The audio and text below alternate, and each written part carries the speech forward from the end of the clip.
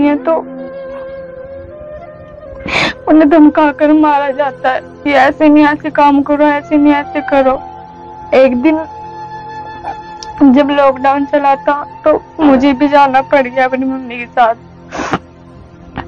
मैं भी एक दिन ऐसे आलू, भी आलू में नहीं जाते हैं, ऐसे मैं भी चली गई थी कि मैं भी देखूँ कि मेरी माँ कैसे कमाती है।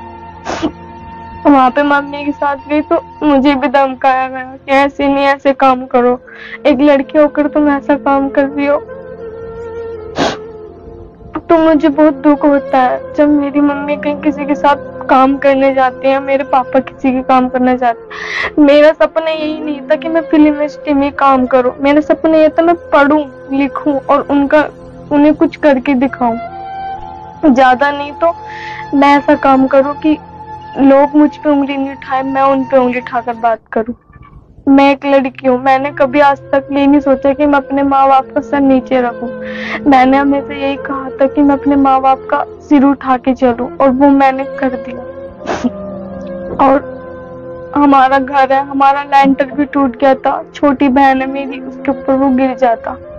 आप देख भी सकते हो।